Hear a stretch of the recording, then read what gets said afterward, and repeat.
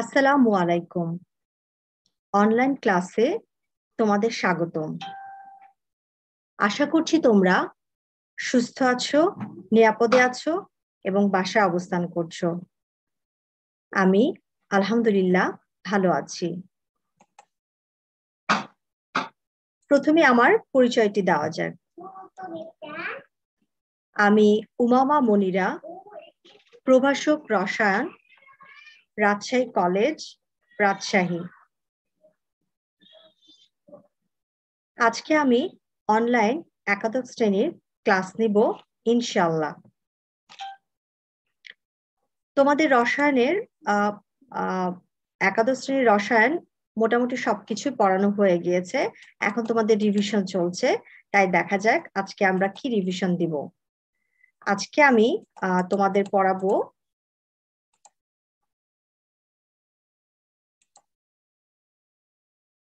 Dipole ও polarity dipole ও polarity পড়ার আগে আমাদের জানতে হবে যে ডাইপোল কি এবং পোলারিটি কি? ডাইপোল হচ্ছে দুইটি পোল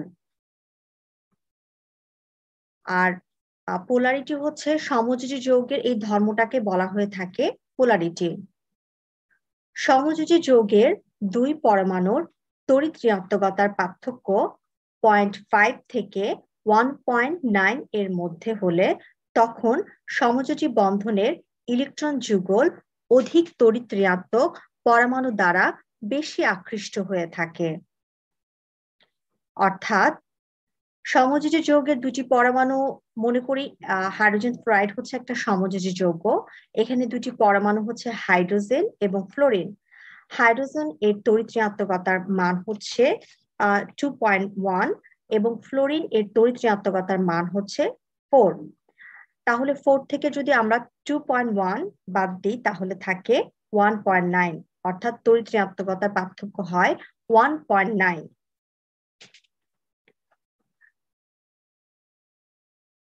তখন কি ঘটবে? তখন হাইড্রোজেন ফ্লোরাইডের মধ্যে ফ্লোরিনের যেহেতু তড়িৎ ঋণাত্মকতা বেশি তাই সে বন্ধন জোর ইলেকট্রনকে নিজের দিকে আকর্ষণ করবে। এর ফলে ফ্লোরিন পরমাণু আংশিক ঋণাত্মক চার্জগ্রস্ত হবে এবং হাইড্রোজেন পরমাণু আংশিক ধনাত্মক চার্জগ্রস্ত হবে। অর্থাৎ দুইটা পোল এর সৃষ্টি হবে। একটা পজিটিভ পোল এবং একটা নেগেটিভ পোল ফলে দুই প্রান্তে মেরুর সৃষ্টি হবে এবং উভয় মেরুকে একত্রে ডাইপোল বলা হয়ে থাকে। আর সমযোজী যৌগের এই ধর্মকে পোলারিটি বলে। যেমন হাইড্রোজেন ফ্লোরাইড এবং পানি হলো পোলার অণু।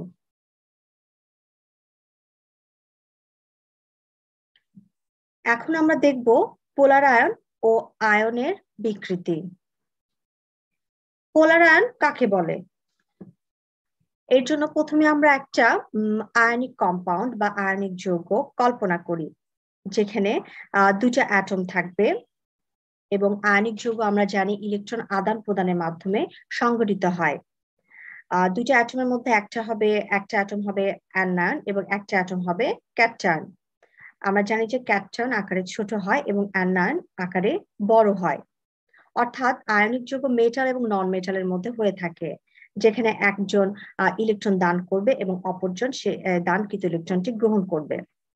কিন্তু দেখা যায় যখন দুটো অ্যাটম কাছাকাছি আসে তখন ক্যাপচায়নের নিউক্লিয়াস অ্যানায়নের ইলেকট্রন গুলোকে নিজের দিকে টানতে থাকে। এর ফলে অ্যানায়নের ইলেকট্রনের যে ক্লাউড থাকে, সেটা কিছুটা ডিফর্ম বা ডিস্টর্ড হয়ে যায়। অর্থাৎ অ্যানায়নের আকৃতির বিকৃতি ঘটে। এবং এটা কার জন্য ঘটে? ক্যাপটায়নের জন্য ঘটে। এই কারণে আমরা ক্যাপটায়নকে বলব ক্যাপটায়নের ক্ষেত্রে বলব পোলারাইজিং পাওয়ার আর অ্যানায়ন অ্যানায়নের ক্ষেত্রে বলব পোলারাইজেশন অর্থাৎ পোলারাইজেশন অ্যানায়নের ঘটে আর ক্যাপটনের ক্ষেত্রে আমরা বলব পোলারাইজিং পাওয়ার এখন দেখা যাক পোলার আয়ন কাকে বলে। যখন কোনো ক্যাপটায়ন একটি অ্যানায়নের খুব নিকটে আসে, তখন ক্যাপটায়নের নিউক্লিয়াস ইলেকট্রন মেঘকে নিজের দিকে আকর্ষণ করে। একই সাথে ক্যাপটায়নের নিউক্লিয়াস অ্যানায়নের নিউক্লিয়াসকে বিকর্ষণ করে। এই আকর্ষণ বিকর্ষণের ফলে অ্যানায়নের ইলেকট্রন মেঘ ক্যাটায়নের দিকে সরে আসে। একে ক্যাটায়ন দ্বারা অ্যানায়নের বিকৃতি বা পোলারায়ন বলে। এখানে আমরা চিত্রে দেখতে পাচ্ছি, এটা হচ্ছে ক্যাটায়ন এবং এটা হচ্ছে অ্যানান ক্যাটায়ন অ্যানান যখন কাছাকাছি আসে, তখন এই ক্যাপচায়নের হচ্ছে নিউক্লিয়াস, হচ্ছে অ্যানায়নের এই ইলেকট্রন হচ্ছে মেঘকে তার নিজের দিকে টানে। ফলে অ্যানায়নের আকারের বিকৃতি ঘটে। ফলে স্পেরিকাল হচ্ছে শেপ থেকে সরে গিয়ে স্পেরিকাল শেপ থেকে সরে গিয়ে কিছুটা এইরকম আকার ধারণ করে। অর্থাৎ আকারটা বিকৃতি হয়ে যায়। এটাই হচ্ছে অ্যানায়নে এর বিকৃতি।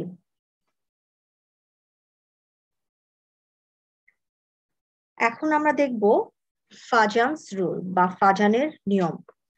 ফাজানের নিয়ম বলার আগে আমাদের জানতে হবে যে ফাজানের নিয়মটি কেন আসলো? ফাজানের নিয়মটি কি এবং ফাজানের নিয়মের লিমিটেশনগুলো কি কি? আমরা জানি যে আয়নিক বন্ড ইলেকট্রন আদান প্রদানের ফলে হয় এবং সমযোজী বন্ধন ইলেকট্রন শেয়ারের মাধ্যমে হয়ে থাকে। কিন্তু আমাদের একটা কথা মনে রাখতে হবে যে হচ্ছে কোনো আয়নিক বন্ডটি হান্ড্রেড পার্সেন্ট আয়নিক বন্ড না। আবার কোনো কোভ্যালেন্ট বন্ড বা সমযোজী বন্ডটি হান্ড্রেড পার্সেন্ট কোভ্যালেন্ট বন্ড না। হচ্ছে আয়নিক বন্ডের মধ্যে কিছু না কিছু কোভ্যালেন্ট ক্যারেক্টার থাকে। আবার কোভ্যালেন্ট বন্ডের মধ্যেও কিছু না কিছু আয়নিক বন্ড থাকে। এই ফাজানেন্স নিয়মটার কিছুই না। এটাই হচ্ছে কোভ্যালেন্ট ক্যারেক্টার ইন আয়নিক হচ্ছে বন্ড। অর্থাৎ, আর কোন যৌগ কতটা আয়নিক বা কোন যৌগ কতটা সমযোজী এটাই ফাজান্স হচ্ছে নিয়ম দ্বারা আমরা বুঝতে পারব বা ব্যাখ্যা করতে পারব। আর এই যোগের লিমিটেশন এই ফাজানের নিয়মের লিমিটেশনটা কি?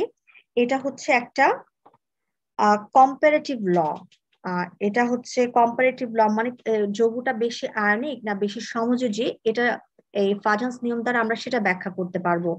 কিন্তু ও হচ্ছে কোয়ালিটেটিভ ল না মানে কত পার্সেন্ট আয়নিক বা কত পার্সেন্ট সমযোজী এটা ফাজান্স নিয়ম দ্বারা ব্যাখ্যা করা যাবে না। তাহলে দেখা যাক ফাজান্সের নিয়ম।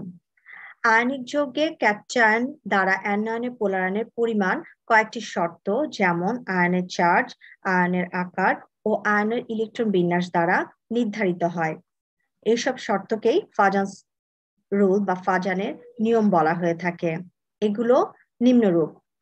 আমরা যদি একে ক্যাটায়ন এবং অ্যানায়ন দুটি অংশে ভাগ করি, তাহলে আমরা প্রথমে বলব যে ক্যাটায়নের আকার যত ছোট হবে ক্যাটায়নের আকার যত ছোট হবে, তত কি হবে?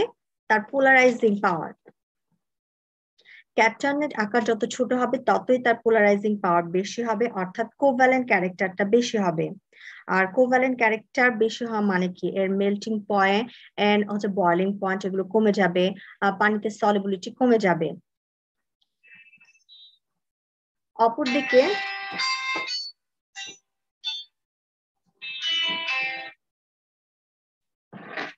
অ্যানায়নের আকার যত বড় হবে অ্যানায়নের আকার যত বড় হবে, ততই তার হচ্ছে কোভ্যালেন্ট ক্যারেক্টারটা বাড়বে। তাহলে আমরা সাইজের ক্ষেত্রে কি দেখলাম? ক্যাপটনের আকার যত ছোট হবে এবং অ্যানানের আকার যত বেশি হবে, ততই কোভ্যালেন্ট ক্যারেক্টার বাড়তে থাকবে।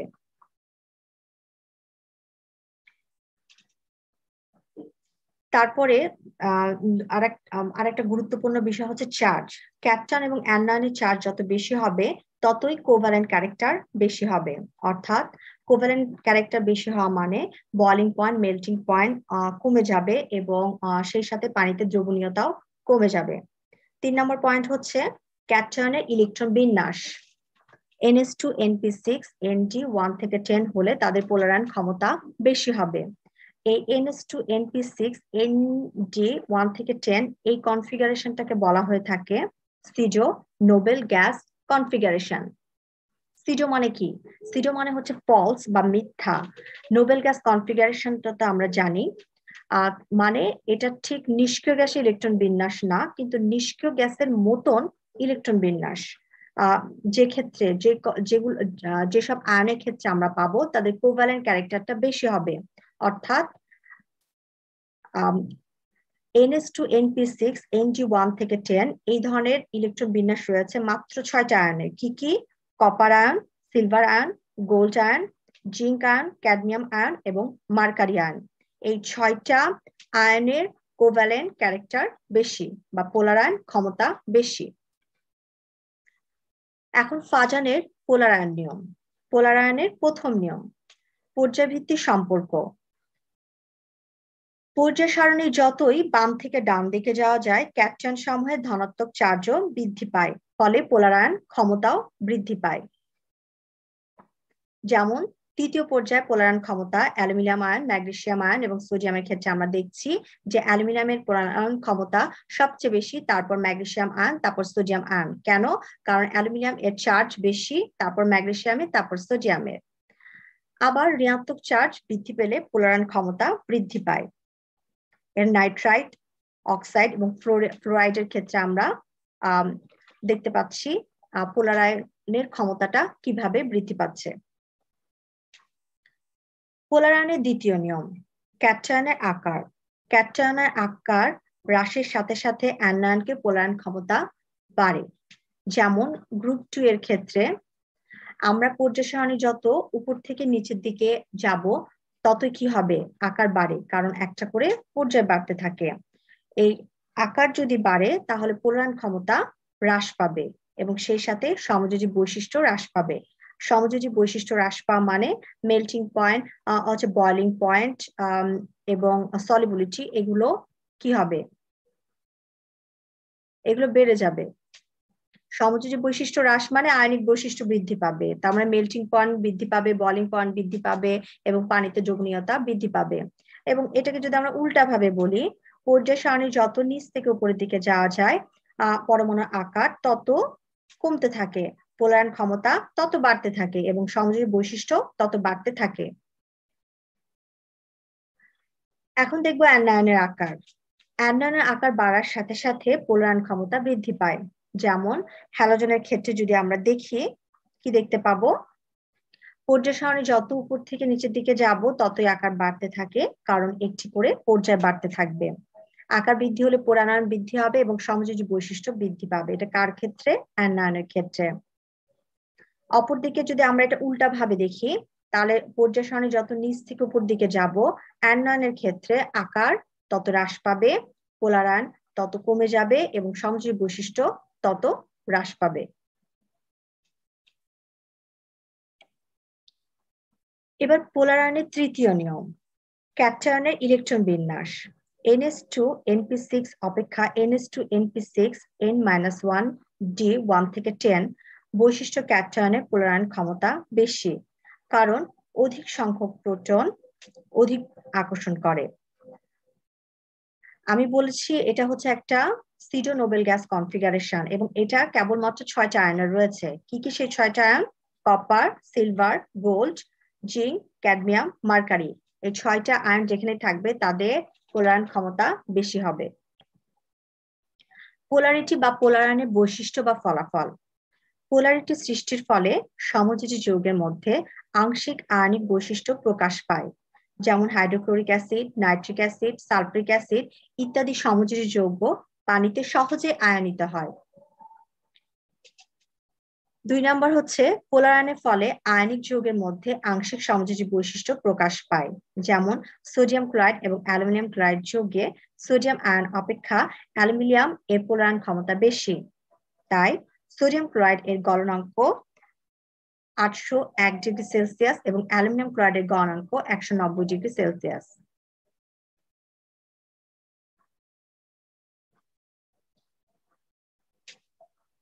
আয়নিক বিভব বা আয়নিক পটেনশিয়াল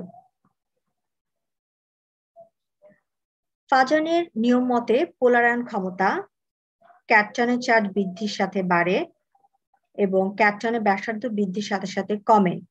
ক্যাটনের পোলারায়ন ক্ষমতা তুলনা করার জন্য আয়নিক পটেনশিয়াল ব্যবহার করা হয়। আয়নিক পটেনশিয়াল হলো একটা রেশিও কার কার রেশিও ক্যাপটনের চার্জ এবং ক্যাপটনের ব্যাসার্ধের। এখন আমরা দেখব কর্ণ সম্পর্ক। পর্যায় সারণীর দ্বিতীয় পর্যায়ে ভুক্ত বিভিন্ন গ্রুপের মৌলসমূহের কিছু কিছু পর্যাবৃত্ত তৃতীয় পর্যায়ে তাদের ডান দিকের মৌলের সাথে, অর্থাৎ কোনাকুনি ভাবে অবস্থিত মৌলের সাথে ধর্মে, তাদের ধর্মের অধিক মিল দেখা যায় এবং এই সম্পর্কটাকে বলা হয়ে থাকে কর্ণ সম্পর্ক। যেমন এখানে লিথিয়াম এর সাথে ম্যাগনেসিয়ামে, বেরেলিয়ামের সাথে অ্যালুমিনিয়ামের এবং বোরনের সাথে সিলিকনের আমরা কর্ণ সম্পর্ক দেখতে পাই। এখন আমরা দেখব ভ্যান্ডারওয়ালস বল বা আন্তঃআণবিক আকর্ষণ বল।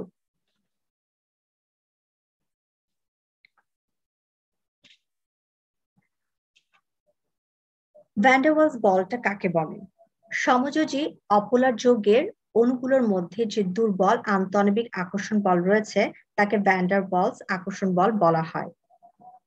দুটি অপোলার অণু যখন খুব কাছাকাছি আসে, তখনই এ বল কাজ করে।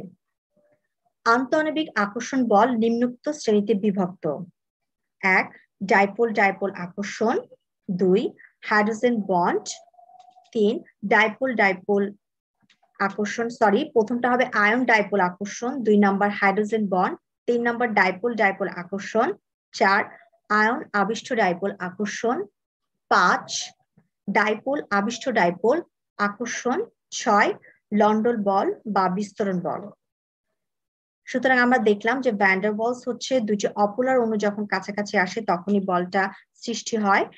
ভ্যান্ডার বলস বল ছয় প্রকার। এই ছয় প্রকার বলের মধ্যে তোমাদের জন্য সবচেয়ে গুরুত্বপূর্ণ হচ্ছে হাইড্রোজেন বন্ড এই কারণে এখন আমি হাইড্রোজেন বন্ড নিয়ে আলোচনা করব।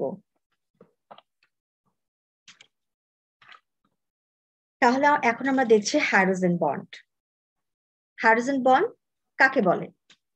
হাইড্রোজেন পরমাণু ও নিঃসঙ্গ ইলেকট্রন যুগল যুক্ত অধিক তরিত্রাত্মক ছোট আকারের পরমাণু, যেমন নাইট্রোজেন, অক্সিজেন এবং ফ্লোরিনের মধ্যে সৃষ্ট হাইড্রোজেন নাইট্রোজেন, হাইড্রোজেন অক্সিজেন এবং হাইড্রোজেন ফ্লোরাইড বন্ধন অধিকতর পোলার হয়।